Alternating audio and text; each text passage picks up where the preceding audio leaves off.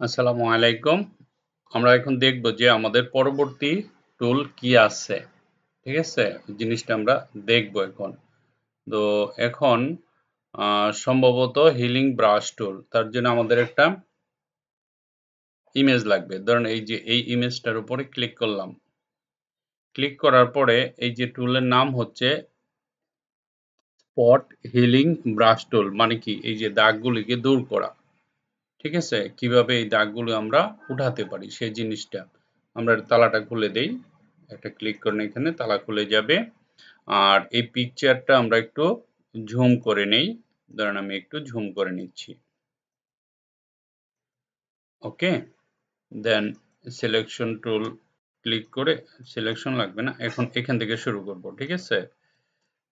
আমরা spot healing এই ব্রাশে click করব। ক্লিক করার পরে আপনার এই যে ব্রাশটা আছে না, আপনি যদি চান এটাকে ছোট করতে পারেন, তবে যে স্পটটা রিমুভ করবেন, তার থেকে একটু বড় নিলে সুবিধা হয়।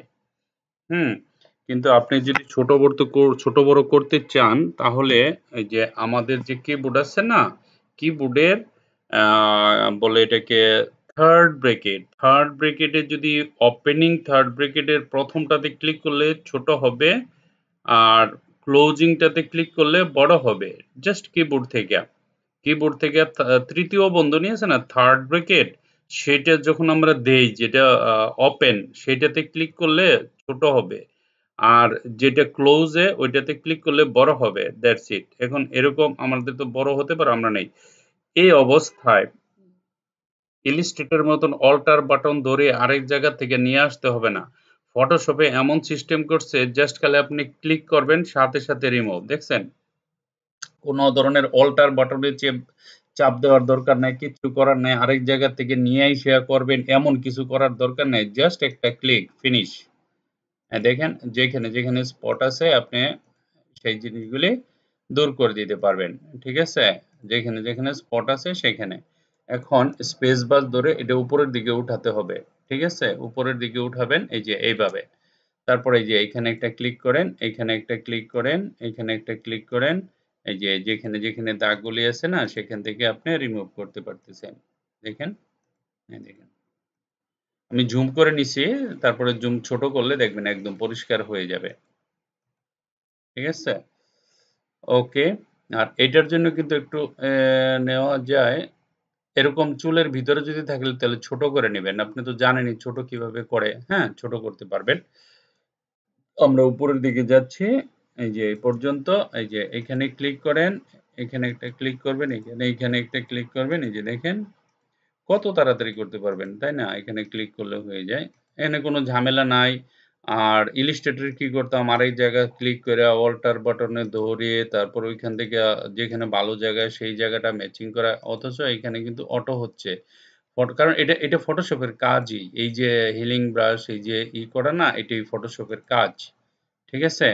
দেখেন কত তাড়াতাড়ি আমরা রিমুভ করে দিলাম যে স্পটগুলো যেগুলি ছিল, সব তাড়াতাড়ি কমপ্লিট করে দিলাম। কয় সেকেন্ড বেশি সময় লাগবে না সেকেন্ডের কাজ।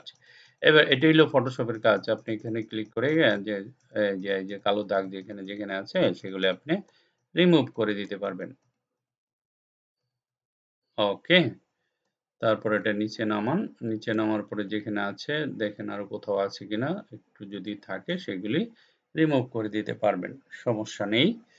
তারপরে এটা দাগ না, এটা চুলেরই, এটা থাক, আমার রিমুভ করার কথা, দাগের কথা, ঠিক আছে? তারপরে এখানে এখানে ক্লিক করলাম, এখানে ক্লিক করলাম। এই যে এই যে দাগটা আছে, আমরা এটা একটু পরিষ্কার করতে পারি, চাইলে যতটুকু সম্ভব হয়। এটা তো শ্যাডো পড়ছে মনে হয়। এখানে একটা দাগ আছে মনে হয়, কালো একটা দাগ আছে, এই যে উঠে গেছে, ঠিক আছে? তারপরে এখানে একটা দাগ আছে, উঠে গেছে। এখন যদি আমরা এই যে এইখানে একটা দাগ আছে এইসব ক্ষেত্রে ছোট করে নিলে ভালো হবে, ঠিক আছে? তো এইভাবে আমরা দেখে দেখে দাগগুলি রিমুভ এই যে এখানে আছে একটা, এই যে এখানে রয়েছে একটা, আমরা দেখে দেখে এই যে এইখানে একটা আছে, তারপরে এখানে এখানে ওকে আই থিঙ্ক কমপ্লিট হয়ে গেছে। এখন আমরা এই যে জুমে ক্লিক করে অল্টারে ধরবো অল্টারে ধরে এটাকে ছোট করব ছোট করব, ঠিক আছে? দেখেন আগের পিকচার আর এখনকার পিকচার রাইট আর দিন ডিফারেন্স না? দেখেন, আগে অনেক স্পট ছিল, কত পুরা কীরকম ছিল, চেহারার, চেহারাটা বদলে গেছে, তাই না? মজা না এটা? অনেক সুন্দর, খালি ডাইরেক্ট এটাতে ক্লিক করবেন আর বাস। কোনো কিছু নেওয়া লাগবে না লেয়ার টেয়ার কোনো কিছুরই দরকার নেই হ্যাঁ? এখন দেখেন এইটা আর আগের যে পিকচারটা সেটা অনেক ডিফারেন্স ঠিক আছে? ধরেন আমি এখানে ক্লিক করলাম ক্লিক করার পরে এখানে ক্লিক করে আবার ওই পিকচারটা যদি নিয়ে আসি, তাহলে আমরা ডিফারেন্সটা বুঝতে পারব। ওইটা আসে নাই। এটাই তো নিলাম মনে হয়। ও, একই পিকচার তো ওইটাই। ঠিক আছে, আমরা তো আগে দেখছিলাম কেমন ছিল, এখন দেখেন কেমন। সেটাকে যদি আমরা দেখাইতেছি, দাঁড়ান। এটাকে ধরে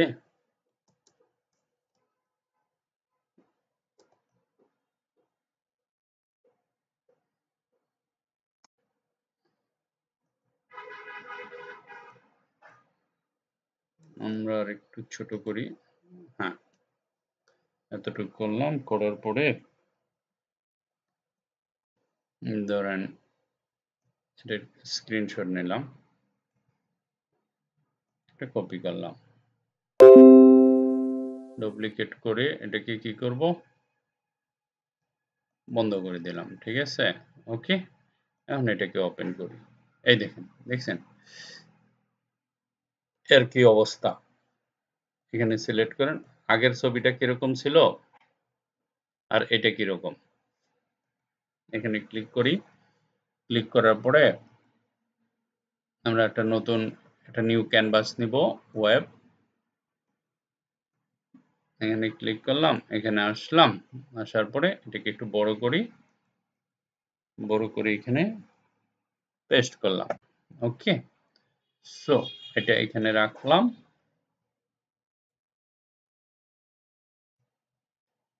এই ছবিটা এক জায়গায় রাখলাম, রাখার পরে এই যে এই যে ছবিটা আছে, এটাকে ধরে এখানে নিলাম, এইখানে ছেড়ে দিলাম, চলে আসলো, ঠিক আছে? তো এখন দেখেন দুইটা কম্পেয়ার করেন। দেখেন, একই মানুষ, এই যে স্পট ছিল আগে, এখন স্পট নেই, ঠিক আছে? Thank you very much simple একটা টুল কিন্তু অনেক উপকারী টুল দেখাইলাম হুম, অনেক ঝামেলা কম, একদম simple thank you very much for watching this video